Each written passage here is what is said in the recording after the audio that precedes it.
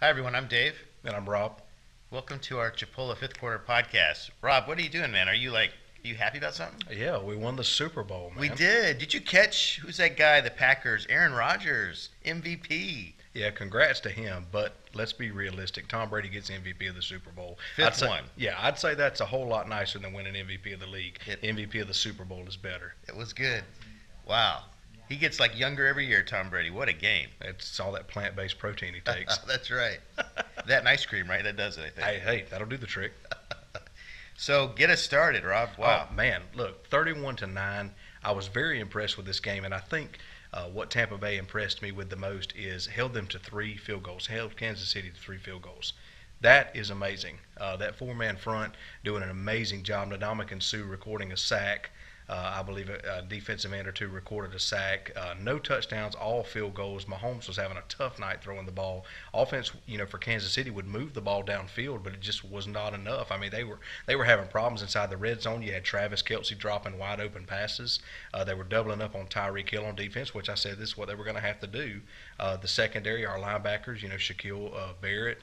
Uh, Lavonte David playing good football, safeties playing back. You know, most of the night, uh, the Tampa Bay defense gave him a, a two safety look, and it was hard for Mahomes to, to find somebody open. I think Tyreek Hill may have had six targets the whole night. Uh, you know, there was like two or three times that he, he, he may have caught a pass, uh, but it, he just couldn't get it into the end zone, man. Kansas City, you know, I think the biggest problem for them going into that game uh, was probably the offensive line. You know, I said last week Eric Fisher was out at left tackle. They bring in the backup. They have to move him over to right tackle, bring in somebody off the bench at the left tackle position, and I think that four man front really exploited that. So it's truly about the team. I, I just loved hearing the interview with Bruce Arians afterwards when they were talking about Brady this, Brady that, which well deserved. I mean, they wouldn't have made it this step this far without Tom Brady and his leadership. He mentioned how he always leads by focusing on the team and others. It seems like that was key. That they were down a few times, they had a few missteps, and they came back. In each phase of the game, offense, defense, special teams, kind of pulled their weight. We were talking off air about that sack that Brady had, and just the kind of the the whole team effort where we never saw him get touched again. And I was thinking, just watching as a you know observer, thinking about our podcast, if he got hit another time like that, that could be it. And um, they never touched him again. What a team effort! Oh yeah, and and a lot of, of this game is mental. You know, Brady, I'm sure, as well as the coaching staff, was probably giving them an earful on the sideline. Uh, Mahomes, on the other hand, you know, recording two or three sacks, that really affects uh, a QB's mentality. Do you remember? I want to say it was the '98 draft. You know, Tom Brady. We all remember he went sixth round, pick 199. Uh, he had a bunch of quarterbacks taken over him. Giovanni Carmazzi uh, was taken over him to the 49ers, and, and Brady really Is that a car? What is that? uh, Giovanni Carmazzi was a quarterback. Oh, wow. yeah, sounds like a car. Uh, but Giovanni Carmazzi gets picked over him. You know, he was a quarterback at Hofstra back in the late '90s. He was very Ooh, mobile. one double A, right? Oh yeah, yeah, but but everybody was looking. Steve Mariucci was the head coach, you know, with San Francisco at the time, and he was looking at you know a lot of uh, Carmazzi's size. Uh, he could run with the football. Brady couldn't really run with the football. He could, you know, he was decent at throwing it at the time and all this other stuff. Carmazzi, you know, gets on the field. You know, it's the it's the first game, their rookie season. Brady's playing with the Patriots, obviously. Carmazzi with the 49ers takes the field. Carmazzi's first drive, he goes three and out. You know, gets gets wham bammed a couple of times by the defense, and it really affects his psyche. He ended up, uh, I think it was three seasons later, he gets cut. Uh, you know, I don't even think he he finished those seasons with 500 yards passing. Yeah, Brady. Wow, you would think. Uh, I mean, others would do their homework like Belichick and them did. Uh, to actually ha- need a backup for Drew Bledsoe, I think, right with the uh, with the Pats. Then, um, looking at him, even though he's sixth round, he's playing with University of Michigan, so that is a powerhouse football team, and they're winning games. So Yeah. it's amazing that people wouldn't see him as a traditional big quarterback. The guy's what six five, six six. He's a Yeah. big man, and um, yeah, he just fits into that old style quarterback where don't touch him and he'll tear you up. All right. Well, he, here's here's something to, to kind of put to rest because there was a lot of critics, you know, even people that weren't Kansas City fans, saying, "Oh, this game is rigged towards Tom Brady." Here's the deal: this team finished seven and nine with the same offensive weapons, with the exception of maybe two or three last season. Uh, then Tom Brady comes to town and finished the regular season 11 and 5. You can't sit here and tell me he's not the difference maker in this team. Tom Brady's mentality is contagious. You know, he's the kind of guy that's in the locker room saying, "Hey, we may be down three touchdowns, but we can still win this game." And I think he was the difference maker, you know, in the Super Bowl because Tampa Bay come out on offense. I'm not gonna lie, first couple of drives, two or three drives, we were a little shaky. You know, we went three and out, ended up having to punt, but defense stepped up time and time and again and bailed us out. You know, Brady finished in the Super Bowl with 201 passing yards, which is, you know, that's it's not necessarily something to jump and shout about, but for the Super Bowl, finishing with 200 pass yards against you know one of the best teams in the AFC, that's something to smile about. Yeah, we talk about these principles that apply to our bachelor's programs here at Chipola College. So the thought of leadership, Bruce Arians after the game said, some are saying Brady put a lot of hype on him as a Packers fan. Also like the Bucs, you know, it's kind of sad in their playoff game, you know, working their way to the championship. But his leadership was key, and Bruce Arians say that said this team was everything. We had every player in place that we needed. We just didn't know how to win. And so Brady brought that in leadership, had a step up at the quarterback position, and demonstrate that consistency of winning because it's not just something you do one time, it's something you do all the time. In the locker room, as you noted, on the practice field, everything you do watching film. And he's the first one in. You imagine at five in the morning eating grass. What kind of life is that? But I guess when you have seven rings, oh yeah, look at this ring we got here. Yeah. We'll show our audience. Yeah, this is what number seven maybe looks like. It does say Super Bowl 50 on it, right? Or 55? Yeah, 55. 55. believe it That's is. Yeah. 55. I got to break out my uh, Roman numeral calculator there, but yeah. So way to go, Tom Brady. Oh Very yeah, cool. absolutely. Congratulations to Tampa Bay. That's the second Super Bowl in franchise uh, history. And and we move on to the next big subject because this is what I want to talk about. Brady said post game interview. He says, "I'm definitely coming back." Of course, Rob Gronkowski says, "Hey, I'm coming back next year too. As long as Tom's here, I'm coming back to this team." And now here's the question: Can Tampa Bay keep this team intact, offense and defense, and repeat next year? So here's the deal: You've got several. Are you opening this up for discussion? Yeah. Oh, let, yeah, let, let's yeah, keep it, keep yeah, going. Let, us let's tread uncharted waters here. Let's open this up for discussion. Here is who is up for free agency. If we can re-sign them, that's great. If not, they're going to walk, and another team's going to pick them up. So number one, Lavonte David, uh, key linebacker. You know he he's probably been in the league probably ten plus years. Um, and he's probably played his, his best football this past season. He's, he's a very key guy for our defense. And, and I said this before, it is almost uh, disastrous for us to get rid of any guys on that defensive side of the ball. Keep them however you have to. Mike Evans, you know, wide receiver, went to the coaching staff, you know, a couple days ago, says, if you have to take some of my money that you were going to use on my contract, take it so we can keep this team together and run it back again next year. Wow. Um, so you look at some others. Gronk, Gronkowski, he might retire. You know what's going to happen with him? I'm sure Brady can have some influence over him. And then a couple of the receivers aren't some of those up? Yeah. for- Uh, speaking of Chris Godwin, he's another one. Uh, you know, he finished uh, two or three seasons as consecutively thousand yards. You know, he finished you know two or three seasons like that. So he's been kind of key. He didn't really get involved much in the passing game for the Super Bowl. Uh, there's a good chance Chris Godwin might walk. If that does, that'll free up some cap space to maybe bring you know one or two players in. I know Adrian Peterson. You know, we know old Adrian Peterson with the Vikings, Redskins. You know, he's kind of been all over with the Lions uh, and everything. You know, he made the comment that he'd love to come to Tampa, sign with Tampa, try to make a Super Bowl run with Brady. I don't know if that's going to happen. Well, he definitely would make a difference. You let him rest, you know, a, a series off and on. He, he could definitely move the ball. Oh, no doubt, no doubt. Uh, you got outside linebacker Shaq Barrett's coming up for free agency, uh, and some of these guys are target. You know, if Tampa Bay wants to have the same success next season and improve that they had this past season, they're going to have to sign a lot of the players on the defensive side of the ball. Uh, Gronk is coming up for renewal. You know, they signed him to a one-year deal. Uh, I'm sure they'll figure out a way to keep him. Uh, next is Ndamukong Suh, defensive wow. front. couple Yeah. of big sacks. Oh yeah, and and you got to think, you know, we probably had the best defense in the league last year, hands down, bar none. Uh, that's just my personal opinion. And a lot of these guys are now coming up for renewal on their contracts. If they don't, they're going to walk. You know, the cap space is already limited because they franchise tagged. Uh, I want to say they franchise tagged. Who was it? I want to say it was Ndamukong Suh or it was somebody else. They franchise tagged him.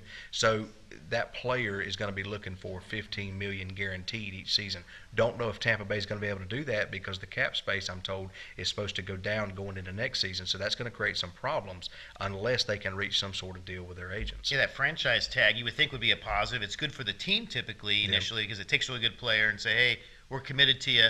when the player's starting to think, hey, I deserve more money. So it kind of got Suh, who's one of the best. He was, I think, a first round pick for sure out of college. The guy's a monster. Oh, absolutely. You know, played with out of the- Nebraska, right? Yep, out of Nebraska, plays with the Detroit Lions. Uh, that's where he got his start. Uh, went down, had a stint with the Miami Dolphins. Uh, and, you know, he, he even made the comment in an interview. He said, I'd love to stay and run it back. You know, a lot of these players, um, the good thing about it is it, it, it's a lot of players that's on the downhill side of their career and they're looking to make one last Super Bowl run. A lot of them, as I said in the last episode, they only came to Tampa because they wanted to make a run with Brady. Doesn't matter, how, you know, why they came to Tampa. What matters is they came to Tampa looking for a shot. They got their shot. They've won one Super Bowl ring. You know, here's hoping this team can do it again. Running back Leonard Fournette's coming up on a one-year deal. Uh, you know, a lot of these players are key, and I think what concerns me the most is I hope uh, that the Bucs front office can figure out a way to, to move around the numbers and get some of these guys back. Now that backup running back, he did some uh, really Jo- good things. Oh yeah, Ronald Jones II Yeah. had his night. Very physical. he could carry it. I thought a couple times he Yeah. outperformed um, Leonard. I thought. Yeah, I think there was one play. It was a dive to the right. I don't know if you saw it. He was dragging two or three Kansas City Yeah, like nine yards or Oh, yeah, something. yeah. he's a very physical Yeah. guy. Yeah, Antonio Brown's coming up for a one-year renewal. He's already stated he would like to come back. Um, you got Ryan Succop, our kicker. Um, he's a pretty good guy. I'd like I'd like to see us keep him on. He's pretty consistent with extra points, uh, three-point position. Uh, LeSean McCoy, uh, I could see us letting him go. You know, he played with the Chiefs last season when they went to the Super Bowl. Uh, didn't play a snap of football really then. Uh, he comes to Tampa Bay this past season, doesn't really pay, play uh, any snaps with Tampa Bay, wins two Super Bowl rings. Got to give a shout out to that guy because he's smart. Most certainly. Oh yeah. Then you got Steve McLendon. You remember Steve McLendon last season? We lost Vita Vea in Week Five um, against the Bears at Soldier Field to an ankle injury. Put him out for the rest of the season. Uh, so somehow the Bucs front office finds a way to get defensive tackle from the Jets, Steve McLendon, to come down to Tampa. Uh, he Jets trying to rebuild, right? Oh yeah, Willing Jets trying to rebuild. Yeah. Steve McLendon comes to Tampa, fills a much-needed roster spot. We get v- Vita Vea back in the NFC Championship, and it shows. You know, Tampa Bay has overcome a lot of obstacles uh, through this past season, and you know, I think Brady was the difference maker. He had all that talent around him, brings two or three guys with him.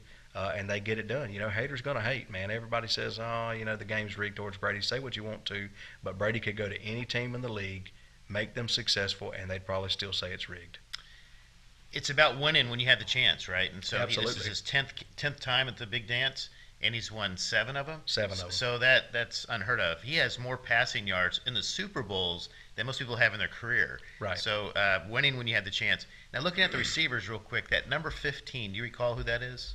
Number 15, I believe that's, uh, Is that- is it Chris Godwin I'm thinking of? But there's, I think it's number 15 that uh, Brady would hype up and say he has the, some of the best hands he's ever seen. But I noticed that he was dropping the ball a lot periodically through the playoffs and maybe through that run when they had a couple losses. Yeah. And I was thinking, wow, is that Brady being a leader, noting, you know, kind of giving him some confidence, some Mhm. shout out, and, and they all they all pitched in together. And you also mentioned Rob about uh, you know giving a one last run for the the big game Super Bowl. And I think no matter where you're at in your career, if it, if it is on the tail end, the Super Bowl is it. That's probably the pinnacle of all sports.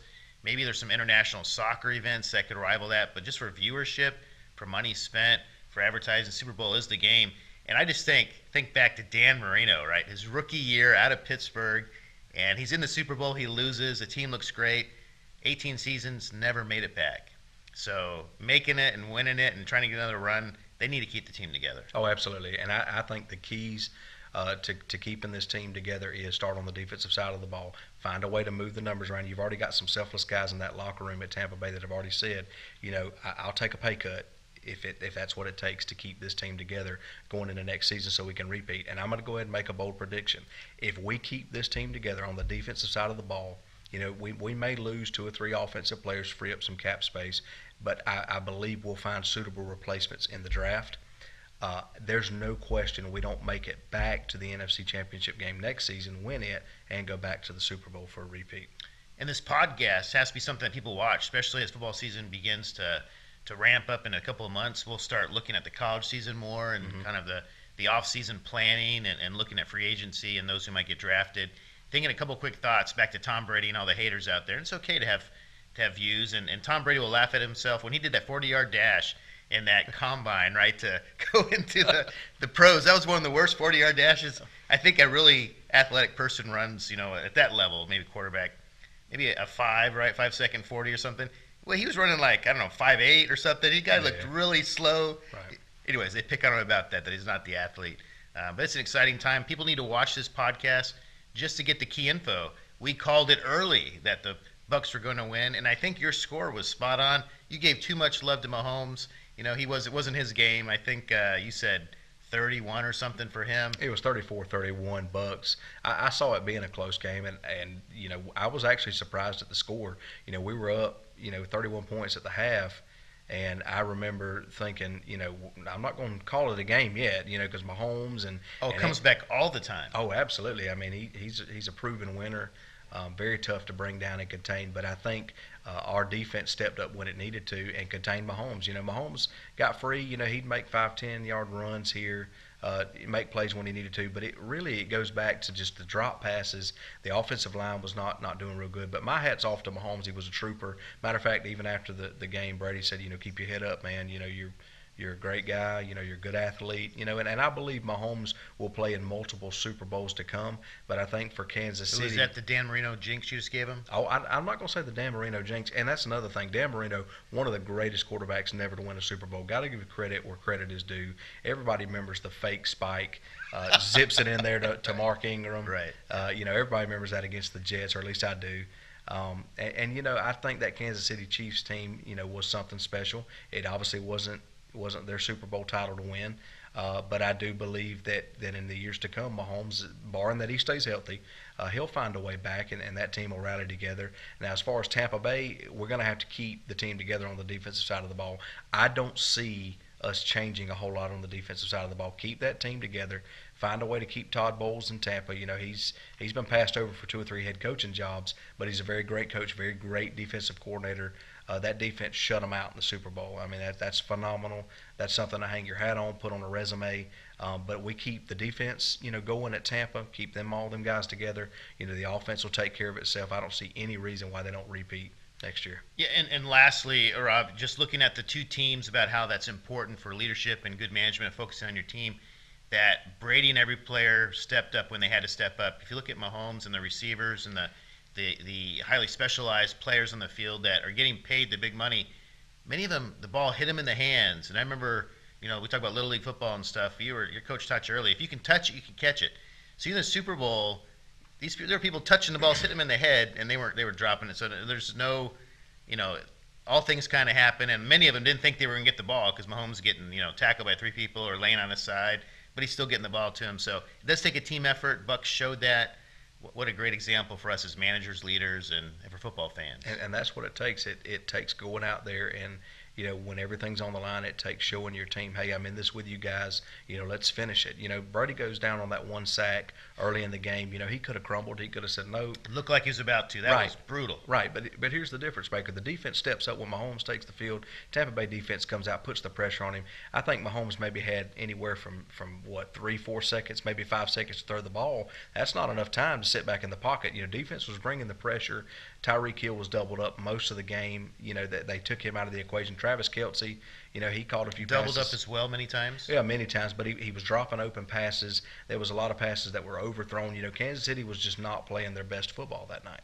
So wow, so we have some, exciting podcasts coming up. We'll be looking about uh, free agency planning for the offseason.